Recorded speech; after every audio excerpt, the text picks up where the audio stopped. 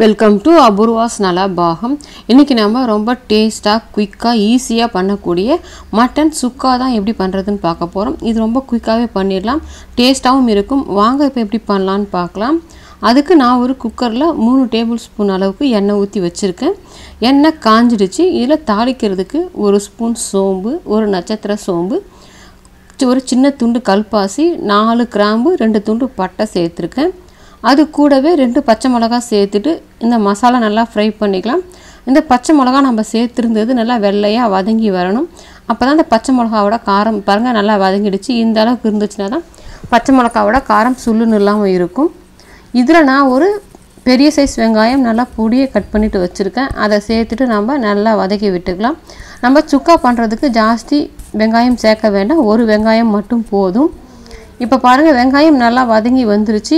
இந்த அளவுக்கு வதங்கி வந்த பிறகு நான் இதில் ரெண்டு டேபிள் ஸ்பூன் அளவுக்கு இஞ்சி பூண்டு பேஸ்ட்டு சேர்த்துக்கிறேன். இதை சேர்த்துட்டு நம்ம இந்த பச்சை வாசனை போக நல்லா வதக்கி விட்டுடலாம்.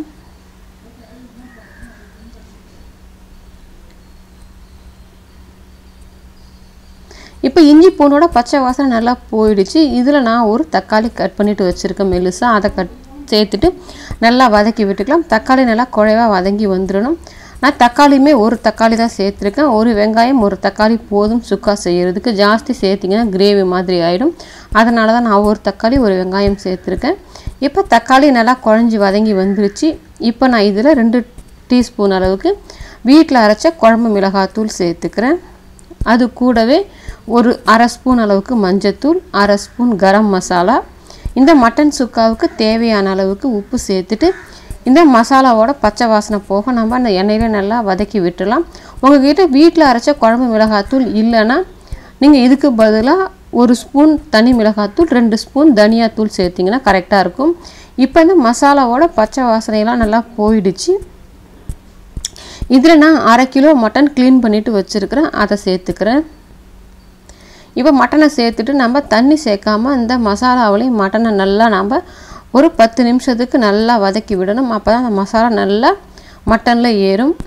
டேஸ்ட்டும் நல்லாயிருக்கும் அப்போ தான் இப்போ பாருங்கள் நான் மட்டன் சேர்த்துட்டு நல்லா ஒரு பத்து நிமிஷத்துக்கு நல்லா வதக்கி விட்டுட்டேன்.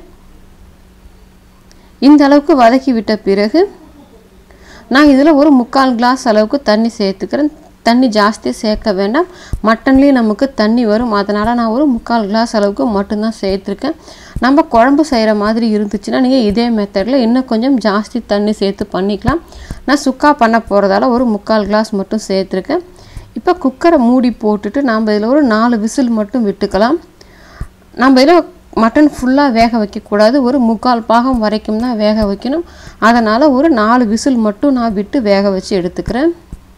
இப்போ பாருங்கள் நான் ஒரு நாலு விசில் விட்டுட்டேன் ப்ரெஷர் நல்லா அடங்கிடுச்சு. இப்போ நம்ம ஓப்பன் பண்ணிடலாம்.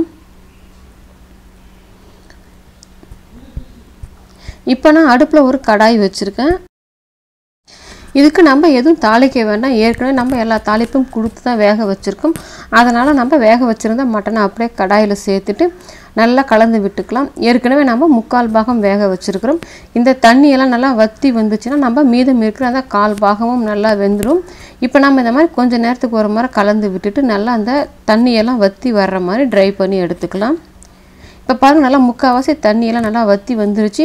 நீங்கள் கொஞ்சம் கிரேவி மாதிரி கொஞ்சம் திக்காக இந்த ஸ்டேஜில் எடுத்திங்கன்னா கூட நல்லாயிருக்கும் நம்ம அப்படியே சாதத்தில் போட்டு பிசைஞ்சு சாப்பிட்றதுக்கு. நான் இன்னும் கொஞ்சம் நல்லா ட்ரையாக சுக்கா பண்ண போகிறதால இன்னும் கொஞ்சம் ட்ரை பண்ணிக்க போகிறேன் இந்த மாதிரி கொஞ்சம் நேரத்துக்கு ஒரு முறை கிளறி விட்டுக்கோங்க. இப்போ பாருங்கள் நல்லா முழு தண்ணி நல்லா ஃபுல்லாக வற்றிட்டு நல்லா ட்ரை ஆகிடுச்சு இப்போ நான் இதில் அரை ஸ்பூன் அளவுக்கு பெப்பர் சேர்த்துக்கிறேன். நம்ம இந்த மாதிரி லாஸ்ட்டாக பெப்பர் சேர்த்து இறக்கி செய்யும்போது நல்லாயிருக்கும். இப்போ நம்ம வந்து பெப்பர் சேர்த்துட்டு கலந்து விட்டுக்கலாம். நான் கலந்து விட்டுட்டேன். இப்போ இதில் கடைசியாக ஒரு கொத்து கருவேப்பிலை கொஞ்சமாக கொத்தமல்லி இலை சேர்த்துட்டு நம்ம நல்லா மிக்ஸ் பண்ணி விட்டுக்கலாம்.